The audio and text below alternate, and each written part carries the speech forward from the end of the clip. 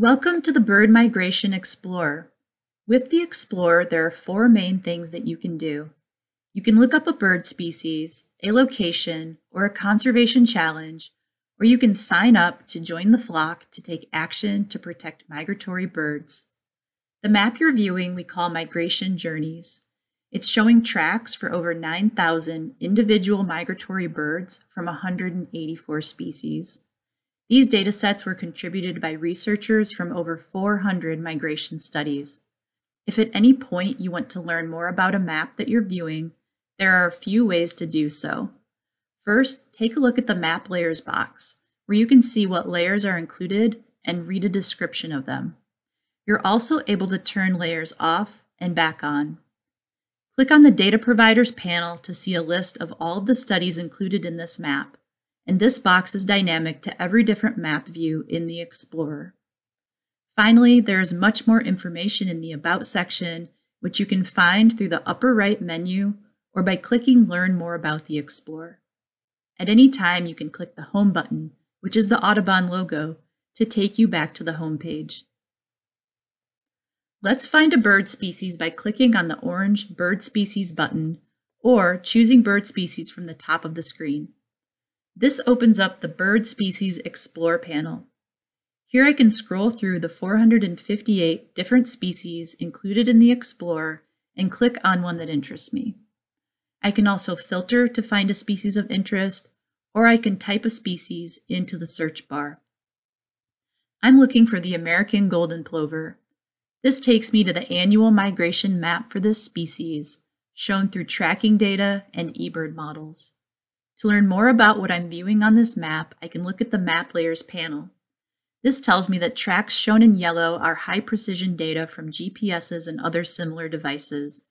Tracks shown in purple are from low precision devices called light level geolocators, which cannot provide data during the equinox periods, so that's when they're shown as a gap in tracking data. I can turn on Journey of a Tracked Bird to see a summary of where they went over the year. The abundance of the species is shown as brown dots of varying sizes, which are derived from eBird models.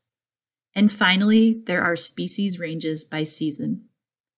At the bottom is a timeline where I can play or pause the map. I can grab a hold of this blue bar to move it to any part of the year that I'm interested in. I can also drag the sides of the blue bar to expand it out over a larger slice of time, such as spring migration.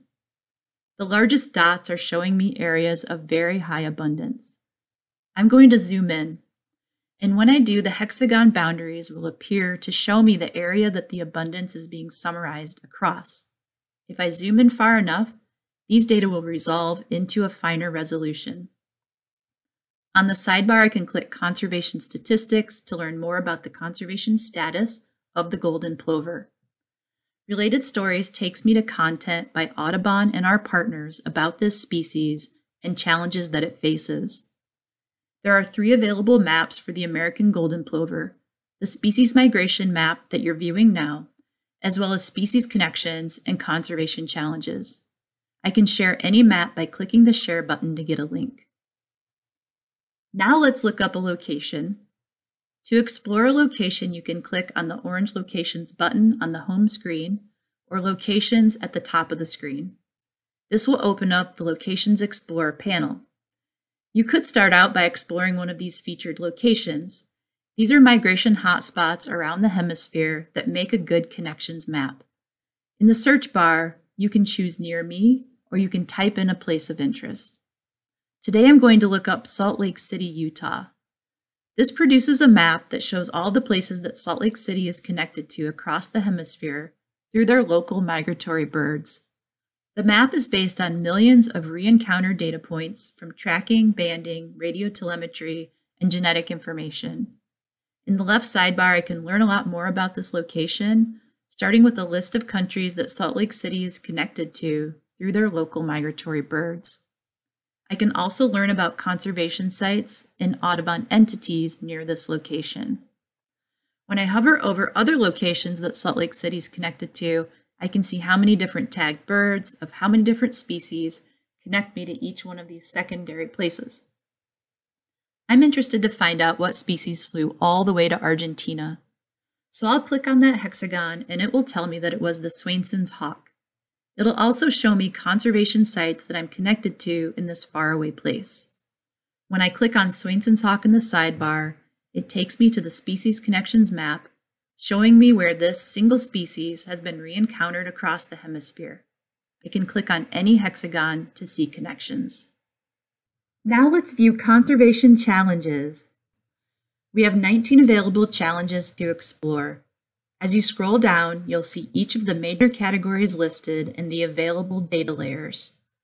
Audubon works with partners across the hemisphere to solve big challenges, such as our conservation ranching and lights out programs. These maps show the footprint of human activities and environmental changes. When viewing these maps, keep in mind that not all of these challenges are threats at all times, in all places, or to all species. And these maps do not estimate impacts to bird populations. They help us to see new patterns, gain new insights, and look for better ways to do bird conservation with partners across the hemisphere. Here we have a map of light pollution.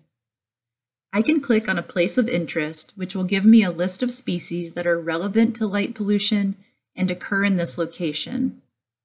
I can select one of these species, and this map will show me the overlap of light pollution and the weekly distribution of bay-breasted warbler. Just like the species migration map, the size of the dots is the level of bird abundance.